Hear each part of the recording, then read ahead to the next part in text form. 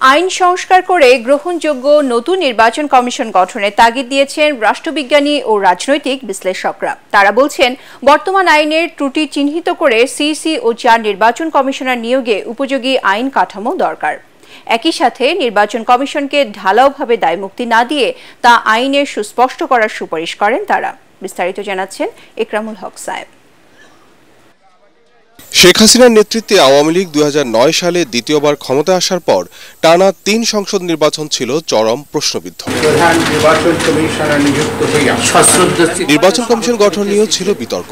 এতে করে পুরো নির্বাচনী ব্যবস্থার প্রতি অনাস্থা তৈরি হয় জনমনে। সবশেষ ছাত্র জনতার গণ অভ্যুত্থানের এক মাসের মাথায় বিতর্কিত দ্বাদশ জাতীয় সংসদ নির্বাচনের দায় না নিয়েই পদত্যাগ করেন কাজী হাবিবুল আওয়াল কমিশন। এখন অন্তর্বর্তীকালীন সরকার কোন প্রক্রিয়ায় সাংবিধানিক এসব পদে নিয়োগ দেবেন তা নিয়ে চলছে আলোচনা।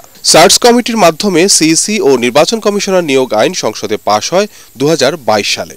যদিও একই প্রক্রিয়ায় গত তিন কমিশন গঠন করে শেখ হাসিনা সরকার। এই আইন নিয়ে একটা আলোচনা হবে এবং আমার মনে হয় যে বর্তমান যে অন্তর্বর্তীকালীন সরকার আছেন, তারা আইনটাকে পরীক্ষা করবেন। পরীক্ষা করে আমার মনে হয় একটা নতুন অর্ডিন্যান্স করে নির্বাচন কমিশন গঠনের প্রক্রিয়া শুরু করলে ভালো হবে সেটা সকলের কাছে গ্রহণযোগ্য হবে।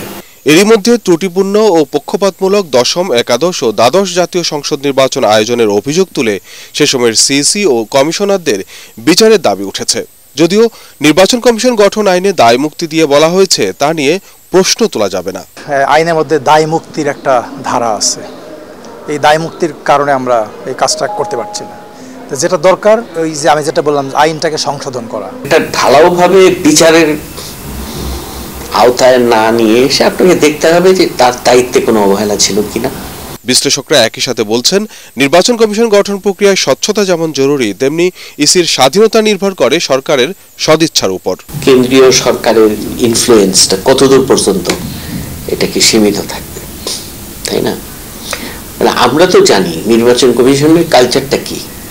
যে এই তিন মাস নির্বাচন কমিশন ইনফ্যাক্ট সর্বসেবা তার। যে তিন মাসের মধ্যে তাকে নির্বাচনটা করতে হয়। এত পাওয়ারফুল ইন্ডিয়ার নির্বাচন কমিশনের দিকে যদি তাকান, তাই না? কিন্তু আমাদের বাংলাদেশে তো সেটা নাই। সেই পাওয়ারটা সে এক্সারসাইজই করতে পারে না। একটা বড় চ্যালেঞ্জ বাংলাদেশের সমস্যা হলো যে আপনি একজনকে বাছাই করবেন, তারপরে তার ডিএনএ পরীক্ষা করা শুরু করব আমরা সবাই মিলে। ওনার করতেন, ওনার দাদা কি করতেন, ওনার চাচা কি করেন, খালু খালা কি করেন, তো এসব করে আপনি একটা বিতর্কের সৃষ্টি করবেন। যেটা করতে হবে যে আপনাকে এমন লোক খুঁজে বের করতে হবে যে লোকটা ডেলিভার করতে পারে। তাদের মতে ইসি গঠনের পাশাপাশি নির্বাচনী প্রক্রিয়াও আনতে হবে যৌক্তিক সংস্কার। ইকরামুল হক, সায়েম এটিএন বাংলা, ঢাকা।